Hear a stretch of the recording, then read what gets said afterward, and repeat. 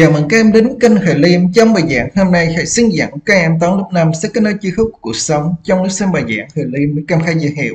Các em sau thích và chia sẻ video cho bạn bè cùng xem. Giờ hôm nay mình sẽ học tiếp bài số 14, bài luyện tập chung tiết số 2 trên 52. Giờ mình sẽ làm câu luyện tập 2, câu số 1 sắp xếp các số hợp phân theo thứ tự từ bé đến lớn nhé. Giờ thầy sẽ làm câu số 1 như sau.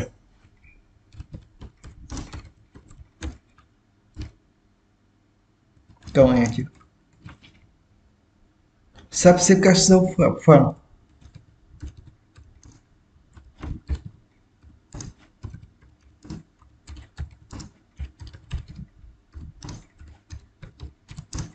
ba phẩy năm trăm hai mươi bảy, ba phẩy năm trăm bảy mươi mốt, hai phẩy bảy trăm năm mươi hai và ba phẩy hai trăm bảy mươi lăm theo thứ tự từ bé đến lớn này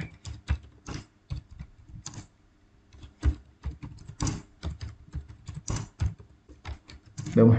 Hoặc là các em để là sắp xếp các số phần trên theo thứ tự từ bé đến lớn cũng được nha. Giờ bây giờ mình so sánh xem số nào bé nhất thì các em biết trước ở đây có bốn số hợp phân. Mình so sánh phần nguyên trước. Đây là 3 3 2 3 như số 2 bé nhất như số bé nhất là 2,752 các em sẽ biết trước. Giờ còn ba số còn lại phần nguyên giống nhau mà so sánh 2 và 10 đây là 5 5 2 như số này bé không biết. Tiếp. Mình sẽ biết số này chưa 3,275 còn lại hai số này có 2 phần 10 giống nhau mà so sánh 2 phần trăm đây là 2 đây là 7 như là hai bé hơn số này bé hơn kem viết trước. 3,527 và cuối cùng là 3,571 đúng không? Câu B mình sẽ làm tương tự nhưng mà sắp ngược lại. Từ lớn đến bé đúng không? như vậy sắp xếp. Các số hợp phần.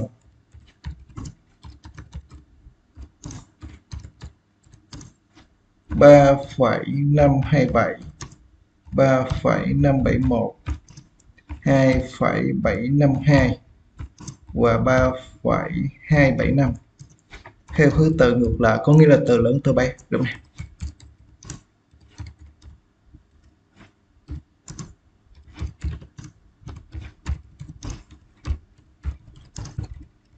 này. Như vậy sắp xếp các số này theo thứ tự từ lớn đến bé thì các em xếp ngược lại. Có nghĩa số này các em biết trước. Giờ sau đó đúng này sắp ngược lại được. Như là 3,571 3,527 3,275 và 2,752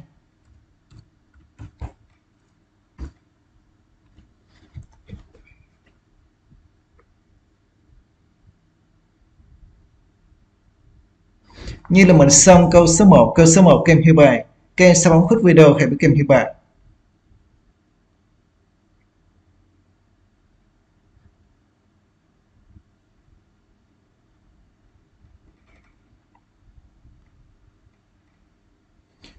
Tiếp theo mình sẽ làm câu số 2 chọn câu trả lời đúng. Mỗi ô tô chở lượng hàng hóa như hình vẽ. Hỏi ô tô nào chở nhẹ nhất nha. bây giờ mình so sánh xem như mình thấy là ô tô A sẽ chở là 2,546 tấn ô tô B chở là 2,645 tấn và ô tô C chở 2,564 tấn mình so sánh hàng phần nguyên giống nhau mình so sánh hàng phần 10 đây là 5 6 5 như số 6 lớn nhất.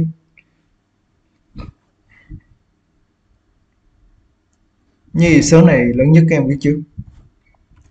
2,645 sẽ lớn nhất đúng không? còn là hai số này thì mình thấy là hàng phần 10 số 5 giống nhau. Hàng phần trăm đây là 4 đây là 6 như số này lớn hơn đúng không? Như là phải 2,564 sẽ lớn hơn 2,546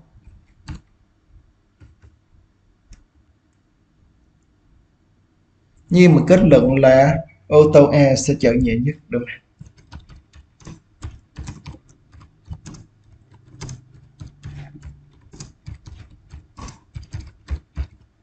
như các em sẽ chọn đáp án A nhé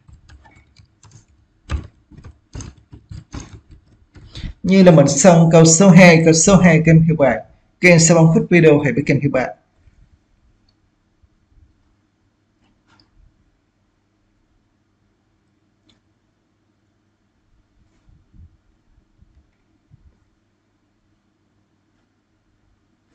Tiếp theo, mình sẽ đến phần trò chơi. Cầu khang và cầu chữa cách chơi, mình sẽ chơi theo nhóm. Người chơi bắt đầu từ ô xuất phát khi đến lượt, thì người chơi sẽ gieo xúc sắc giờ di chuyển số ô bằng với số chấm nhận được. Sau đó mình sẽ đọc lớn, số lớn hơn trong mô đó. Nếu đọc sai thì phải quay về ô xuất phát trước đó. Khi đến chân cầu khang thì các em sẽ được phép leo lên. hoặc khi đến đỉnh cầu trượt thì các em có được, em sẽ bị trượt xuống nhé. Gặp bông qua thì mình sẽ tự vượt qua thôi. Và trò chơi kết thúc khi có người về đích như vậy mình quan sát bảng này, nhưng mà xuất phát vị trí này đúng không? Các em sẽ sử dụng một con uh, xúc sắc các em gieo ví dụ xúc sắc các em gieo được mặt phía trên là hai chấm thì các em sẽ đi hai bước. Từ đây đến đây một hai. Giờ tới đây thì các em sẽ xem số nào lớn hơn thì các em sẽ đọc số đó. Thì mình thấy là hai số này sẽ có phần nguyên giống nhau rồi. Hàng phần 10 là 7 giống nhau hàng phần trăm đây là 6 đây là một. Như vậy số này lớn nhất thì các em sẽ đọc số này đúng không? Tương tự ô này nếu mình thấy phần nguyên cũng giống nhau hàng phần 10 giống nhau hàng phần trăm đây là 8 đây là 9 như số này lớn hơn các em sẽ đọc là 35,09 ở đây các em sẽ đọc là 300 linh 203,76 đúng không? Giờ mình so sánh hai số này. Hai số này thì mình thấy là phần nguyên mình sẽ so sánh số phần các em nhớ là so sánh phần nguyên trước thì phần nguyên đây là 215 đến 217 217 sẽ lớn hơn như số này sẽ lớn hơn. Các em sẽ đọc số này là 217,03 đúng không? giờ hai số này thì mình thấy là phần nguyên đây là 31 41 số này lớn hơn. Các em sẽ đọc số này là 41,72 hai. Số này phần nguyên đây là 10 đây là 9 số 10 lớn hơn như số này lớn hơn các em sẽ viết các em sẽ đọc là 10,59 hai số này thì mình thấy phần nguyên đây là 13 đây là 1 13 sẽ lớn hơn. Các sẽ đọc này là 13,72 hai. Số này phần nguyên đây là 10 đây là 108 vì số này lớn hơn các em sẽ đọc là 108 phẩy 201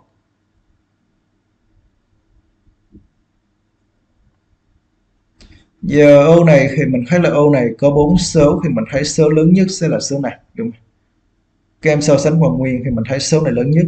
Số này các em sẽ đọc là 900,01 giờ hai số này thì mình thấy là số này sẽ lớn hơn. Hai phần nguyên giống nhau phần 10 giống nhau và hai hàng phần trăm đây là hai đây là một hai lớn hơn. Như vậy số này các em sẽ đọc là 100,02 hai. Số này mình thấy phần nguyên giống nhau phần 10 hàng phần 10 là 7 8 số 8 lớn hơn. Như là 3,81 hai số này phần nguyên 15 14 15 lớn hơn. Số này kem đọc là 15,09 hai số này thì mình thấy là phần nguyên đây là 13 14 14 lớn hơn. Các em sẽ đọc là 14,27 hai số này thì mình thấy là phần nguyên số này lớn hơn. Các em sẽ đọc số này là 121,8 hai số này phần nguyên giống nhau. Hàng phần 10 đây là 2 đây là 5 như số này lớn hơn các em sẽ đọc làm 46,52 giờ hai số này phần nguyên là 17 20 số này lớn hơn các em sẽ đọc là 20,12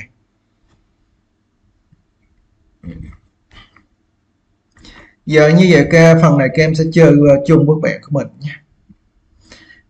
Giờ như là mình xong bài giảng hôm nay nếu các em thấy giảng gì thì bấm khích chia sẻ cho bạn bè cùng xem.